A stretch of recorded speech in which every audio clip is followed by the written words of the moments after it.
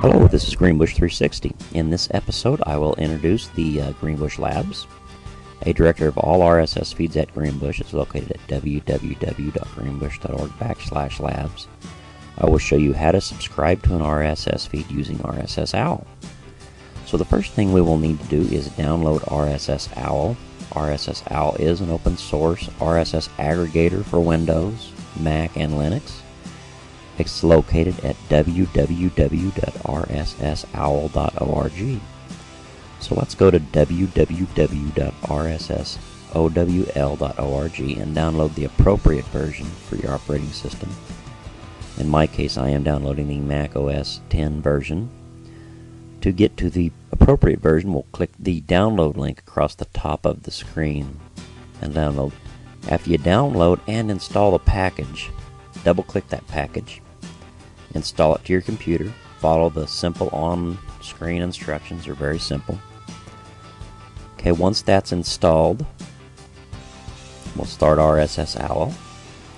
When you start it for the first time, you'll see a, a, screen with a big green arrow at the bottom. You usually won't see that except for the very first time. What you'll do is you'll just click that green arrow, and now your aggregator is going. So let's set up a new category titled My Feeds in that aggregator.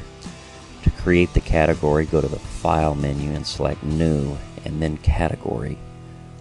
When the Add Category box pops up, enter the name of the new category. We are calling this one My Feeds and press Enter. Okay, so now that we have our new group set up, let's go to the Greenbush Labs site as I mentioned, Labs is an all things RSS directory. As I mentioned, it's located at www.greenbush.org backslash labs. When we're there, let's scroll down. We'll see the blog section. We'll be subscribing to a blog called Open Source Software and Education blog. Let's click the orange RSS button next to the Open Source Software and Education text. When you do that, you'll go up to the top, go up to the URL box. We'll copy that URL that's in that box after you've copied the URL of the RSS feed, let's go back to RSS OWL. When back in RSS OWL, go to the File, then New, and select Favorites. When the Add Favorites box pops up, paste the RSS URL in the URL path text box. In the title, let's call it Open Source and Education. In the category, we'll put our newly created My Feeds category. Okay, let's keep everything else as it is and click OK.